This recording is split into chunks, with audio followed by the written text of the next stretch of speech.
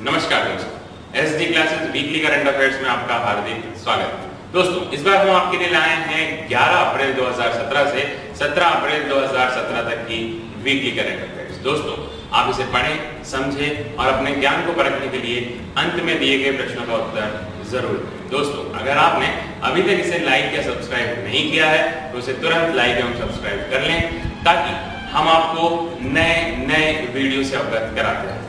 捷径捷客。